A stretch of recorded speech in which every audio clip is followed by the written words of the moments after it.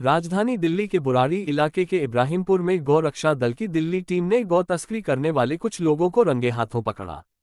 गोदाम के अंदर तीन गाय ज़िंदा बचाई गई और उनके बछड़े भी हुए बरामद। गौ रक्षकों का आरोप है, बुरी तरीके से मुँह बांधकर गाय को काटने की की जा रही थी तैयारी। शुक्रवार शाम के वक्त यहाँ ये गाय पकड़ी गई। इस बाबत पुलिस को सूचना दी गई।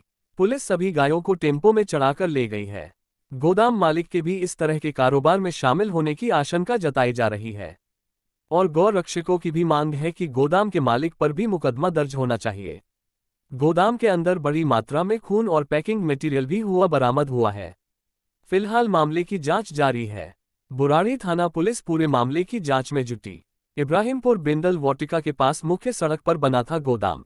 बताइए बेटा क्या देखा था आपने और क्या आपने पुलिस को सूचना यहाँ पे हमें सूचना मिली कि एक टम्पू आ रहा है जिसके अंदर गाय हैं। वो अंदर आया और जिन लोगों का ये गोदाम था जो ये काम करते हैं उन्होंने यहाँ पे लोक लगा दिया और टम्पू को बाहर लेके निकाल के भी लोग भाग गए यहाँ से।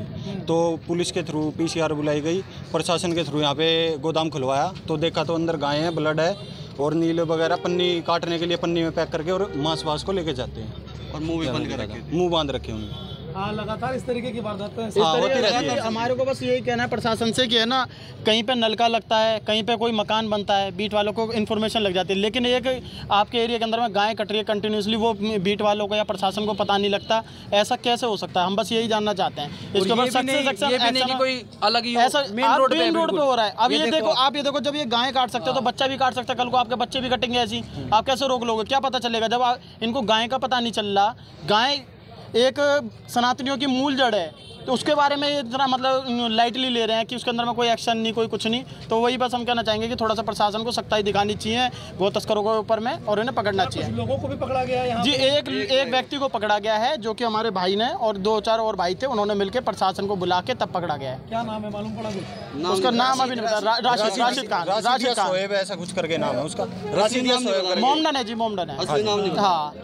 इससे पहले अभी बीच में बलसवा में भी दो तीन बार ऐसी कटी हैं, वहाँ पे भी कोई लीगल एक्शन नहीं हो। जगह जगह दिल्ली के अंदर में हर दूसरे तीसरे दिन गोदाम लेके रोडों के ऊपर में गाय काटी जा रही है, गाय का खून फेंका जा रहा है। तो ये भावना आहत करने वाली बात है, दंगा भड़काने वाली बात है, जिसके ऊपर में सरकार कोई एक्शन नहीं लेती। एक एनिमल क्रूअल्टी का एक्ट लगा देगी जायजा पंद्रह दिन में बेल पर बंदा बाहर